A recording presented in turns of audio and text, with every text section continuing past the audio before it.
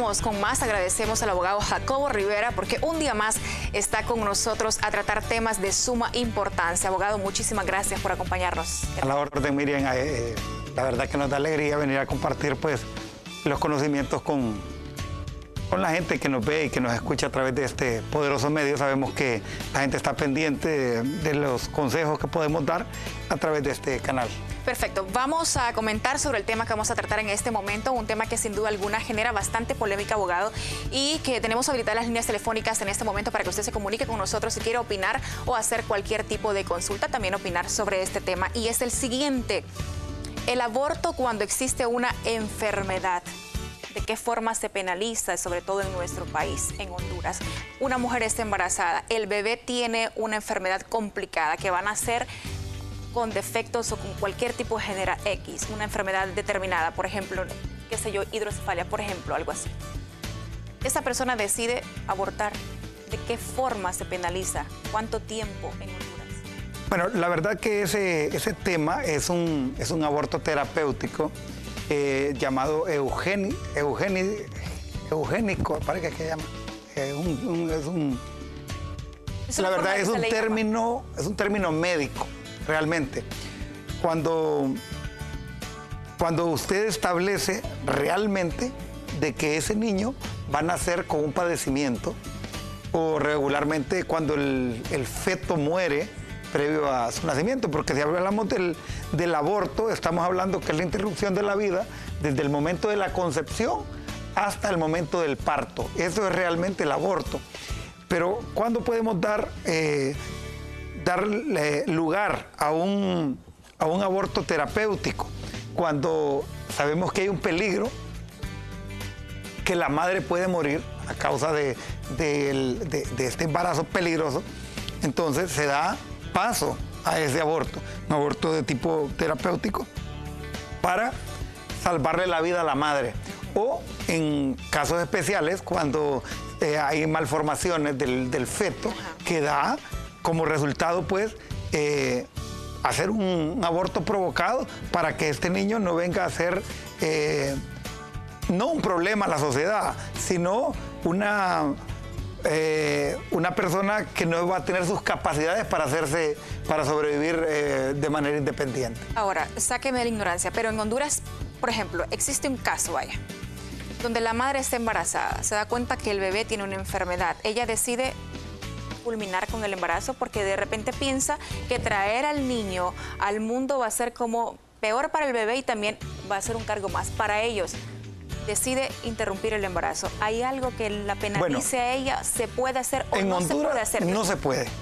Definitivamente en Honduras no se puede porque no está eh, como quien dice, autorizado el aborto bajo esas condiciones. Está avalado. Lastimosamente, lastimosamente, eh, por razones exclusivamente quirúrgico, médico quirúrgico, eh, a veces se pone en riesgo la vida de la madre y obligatoriamente se debe recurrir a este método para salvarle la vida a la madre. O en el caso especial, como usted dice, cuando sabemos de que ese feto tiene malformaciones y que viene a generar a una persona que no va a ser independiente ni autónoma en sus decisiones en la vida. Abogado, ¿ya se han procesado personas, mujeres, por hacer este tipo de casos? Bueno, que yo conozca no, que yo conozca no, pero sí tengo entendido que existen protocolos médicos, médicos, que respaldan este tipo de, de accionarios de parte de, los encargados de los hospitales, de los centros médicos, para dar lugar a que una persona eh, tenga esa oportunidad de salvar su vida o de darle paso a un aborto provocado para que el niño que está por venir al mundo eh, sea, eh, como quien dice, liberado. Porque realmente de lo que se hace, se libera para que de una vez por todas se termine ese mal, malformación que daría lugar pues a un niño eh, discapacitado. Abogado, ¿usted considera que de repente las autoridades en, en, Honduras deberían de tomarlo en cuenta este tipo de casos, donde se puede poner en peligro la vida de la madre de interrumpir el embarazo o no? Mire, eh, se ha discutido, se ha discutido en la Cámara Legislativa creo que hace como tres o cuatro años se trató de hablar del tema.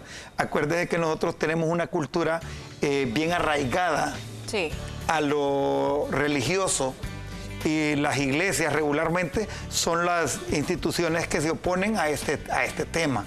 Lamentablemente en sociedades mucho más avanzadas que la nuestra, por ejemplo el aborto en, en Francia se practica de manera legal desde 1975. En sociedades como en Estados Unidos hay muchos estados donde está aprobado el aborto para eh, cuestiones meramente quirúrgicas. Cuando vemos, por ejemplo en Estados Unidos se practica mucho el aborto por em, razones de, violaciones. Imagínese alguien que viola a una, a una niña, a una doncella, a una señorita, como se le llama en el argot popular, eh, cuando esta persona eh, viene de las, denominadas gangas, que le llaman en Estados Unidos personas malvivientes, que le violan a una persona, esta persona en Estados Unidos puede accesar a una solicitud de aborto legal para no tener eh, una relación genética con una persona eh, que sea eh, un antisocial prácticamente un desconocido para ella. Cosa que sabemos que en, que en Honduras, pues obviamente no está aprobado. Pero hablábamos la vez pasada tras cámaras que es, complicado, porque sí, porque es complicado, porque de repente no los quiero meter en aquella encrucijada de decirle, pero usted qué piensa, ¿está de acuerdo con que debería hacerse el aborto y no penalizarlo a aquellas mujeres que lo hacen? Bueno, es que mire, ver el aborto, como les digo, eh, habría que hacer un consenso. Eh, hay una figura muy bonita en, en, el, en la constitución nuestra, el artículo 5 habla de la consulta de la consulta popular, el plebiscito y el referéndum. Yo creo que este tipo de, de, instrumentos que tiene la Constitución deberíamos de utilizarlos para hacernos este tipo de preguntas. Yo le pregunto a cualquier mujer honesta, una eh, persona de, buenos eh, modales, de buena crianza, eh, ¿qué pasaría si se encontrara en una situación de las que hemos referido en este tema? Pues imagínese si es objeto de una violación, se daría lugar a tener un, cruce genético con un antisocial. Porque esa es la verdad, pues habría que ver el esquema de fondo y habría que utilizar el principio de la empatía para ponernos en el lugar de esas personas, si estamos o no en, acuerdo para dar lugar al nacimiento de una persona eh, producto de, un, de una violación o de una malformación, porque hay que ver todos los los esquemas, todos los planteamientos para dar lugar a la aprobación o y aprobar o inaprobar el aborto en el país. Que no se ha hecho todavía en Honduras. Nunca se, ha hecho. Se ha, tratado de hablar, se ha hablado en, entre líneas del tema, pero como les digo, nosotros tenemos una sociedad que aún, aún en este momento es conservadora. Sí, muchísimo. La religión en, en Honduras, pues, gracias a Dios tenemos una ventaja, ¿verdad? Porque todavía no, no existe tanto, por decirlo así, libertinaje. Pero sí se debería de consultar, como usted bien lo decía, a la población qué se considera que se debe realizar cuando existen casos como estos especiales que estamos tratando. Eh, una enfermedad, un embarazo, ¿qué se debe de hacer? Bueno, eh, acordémonos de que el Estado, el Estado nuestro es un Estado laico y deberíamos de ver las cosas bajo el enfoque de lo que la sociedad requiere realmente. Porque mire usted, las iglesias se oponen. pero dígame usted cuántas iglesias, dígame usted cuántas iglesias en el país eh, se hacen cargo de las personas eh, que tienen discapacidades, que andan deambulando muchas veces por la calle y vemos de que nadie se hace cargo de ellas. Bueno, no vamos a decir nadie, pero si hay muchas iglesias, vamos a salvarlas también, ¿verdad? O sea, vamos a generalizar. pero, pero, sí hay muchas que también, ya eso es otro tema, pero, hay muchas que se ¿Cuántos muchachos, cuántas personas vemos en la calle con falta de capacidades, de autonomía, de independencia, que los vemos abandonados en la no, calle? definitivamente. Entonces, si vamos a tocar un enfoque bajo el marco, bajo el, el esquema social, veamos la contraparte porque criticar y decir y opinar es bonito, pero hacer ser parte de ese enfoque, esos son los otros 20 lempiras, como decimos en la calle. Definitivamente. Y que tocamos ese tema porque hemos visto eh, cómo en nuestro país con el tema de la chikungunya, que ha venido a azotar bastante, eh, sobre todo afectar bastante a las mujeres y que de hecho se ha lanzado una campaña para prevenir los embarazos porque hay muchos bebés que han nacido con microcefalia. Entonces, hablamos de ese tema porque hay que tocarlo, hay que traerlo a la mesa y es bastante complicado también. Bueno, volvemos al tema. Para hablar, estamos hablando de, la microcefalia. Ok, estamos hablando del tema de, Gillian Barré, que también, Es, un colateral del Zika. Preguntémonos cuántas iglesias, cuántos entes, cuántas ONG se han, se han manifestado cuando eh, la Secretaría de Salud dice, señoras, ustedes que están en periodo de gestación, o usted que está planificando un embarazo, o usted que está en el estado de, gravidez normal para que una persona pueda dar o vaya a concebir. ¿Usted ha escuchado alguna iglesia que se pronuncie sobre eso? Ninguna. ¿Por qué? Porque estamos frente a una, a una dificultad que no la podemos controlar yo considero de que debe ser objeto de legislación. insisto, debemos de utilizar lo que la Constitución nos da. Hay una herramienta que se llama plebiscito y referéndum en el artículo 5. Consultémosle al pueblo. Que se hacen para otras cosas, que se hacen para política. Miren, ustedes van a ver los políticos peleando en todos los foros por si hacemos plebiscito, por si hacemos referéndum, por si hacemos el otro.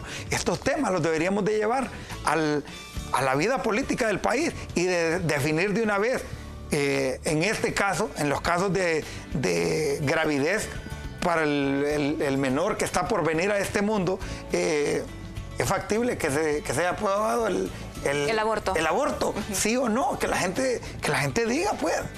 La sociedad es la, la encargada de decidir el futuro del país. Abogado, que en este caso, si hablamos así, serían como que ya lo hemos tocado, sería prácticamente este, una enfermedad y la otra sería estilo violación.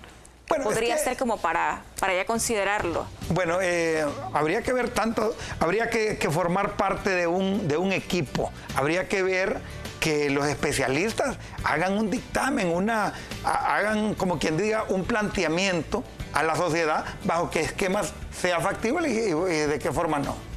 Perfecto, nos separamos un momento de la información, ya vamos a regresar con más.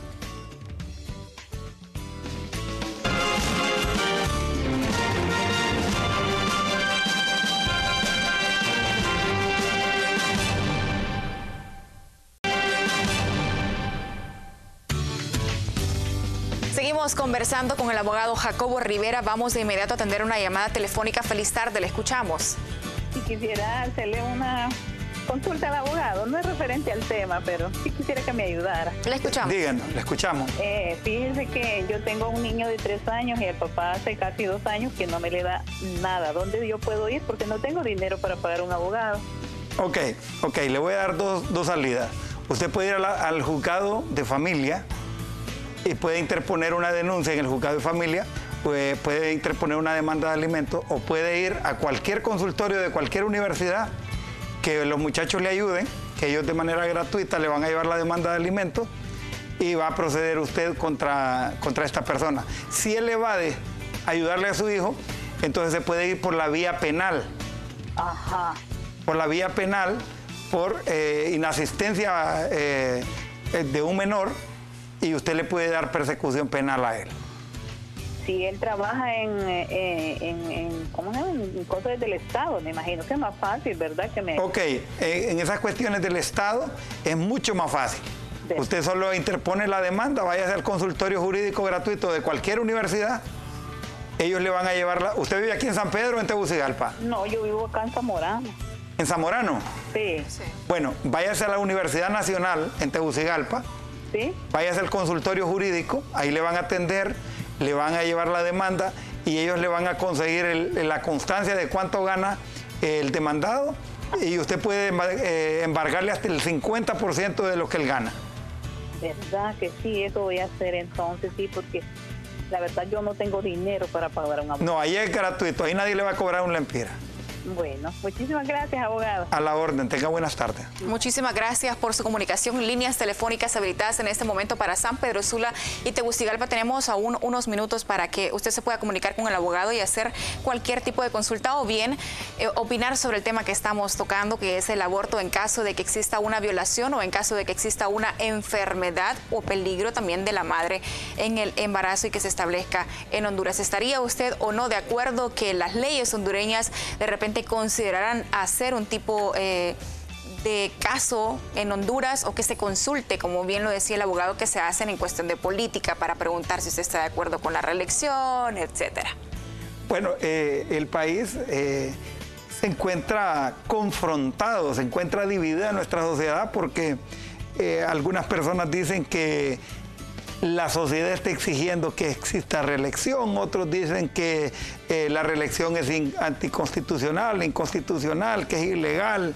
Entonces, deberían de utilizar estos, estos métodos, estas eh, herramientas de consulta al pueblo, también para eso, pues, si vamos a utilizarlo para eh, preguntarle si, si quieren reelección o no, utilicémoslo también para temas fundamentales para la sociedad, porque este es un tema que nos nos atañe a todos. Es un tema que, eh, si ustedes lo ven desde el punto de vista social, es, es incluyente para toda la familia hondureña. Y que muchas personas se cohiben en hablarlo porque existe todavía este mito y somos, como usted lo decía al principio, bastante conservadores. Entonces da como temor hablar del tema. Pero le decía, en, en sociedades más avanzadas, sociedades que ya ven un enfoque de... este de sociedad y de familia eh, bastante avanzado, eh, ya el aborto es un tema ya, ya visto, ya es un tema eh, que ya no lo vemos con morbo ni lo vemos como un paradigma, porque realmente en Honduras hablar del, del tema del aborto es, es un paradigma, pues. Es un porque aquí, pues, si usted pone a un político frente a una cámara y le dice si usted está de acuerdo en esto, lo deja mudo. Básicamente lo deja mudo porque estamos bajo un enfoque de que la gente no se quiere echar a un grupo de personas encima porque vamos a aclarar, van a decir. Sí, vamos a aclarar.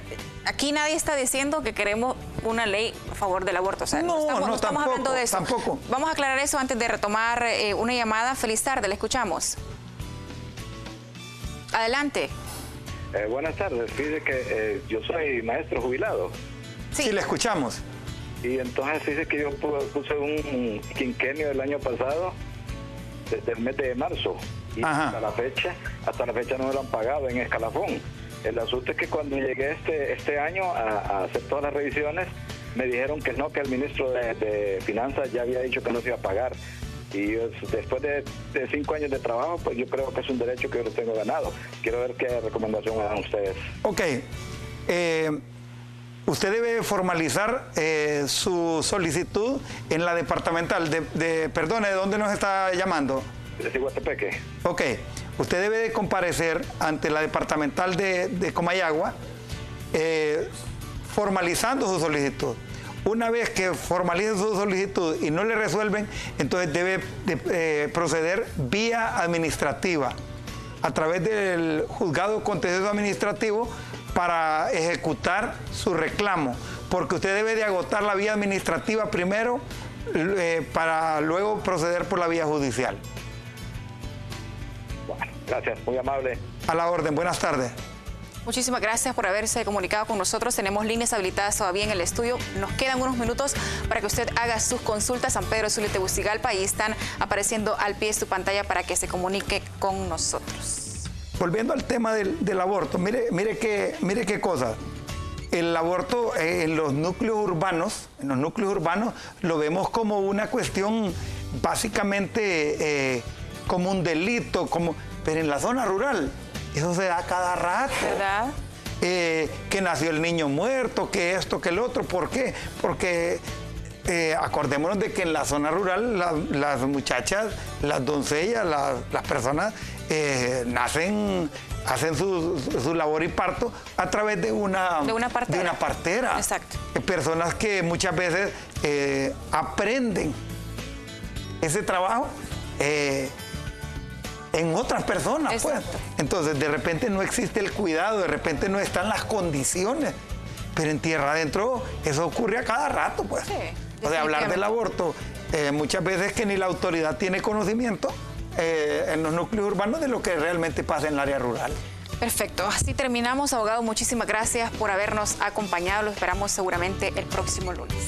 Bueno, el lunes estaremos nuevamente acá eh, hablando de otro tema porque realmente la sociedad necesita estar informado. La verdad que el objetivo de todos los medios debería ser lo que ya nos establece pues la carrera de periodismo. El periodista debe orientar, educar e informar para que generar un equilibrio en la sociedad. Perfecto, muchísimas gracias a usted también por habernos sintonizado. Nos esperamos mañana.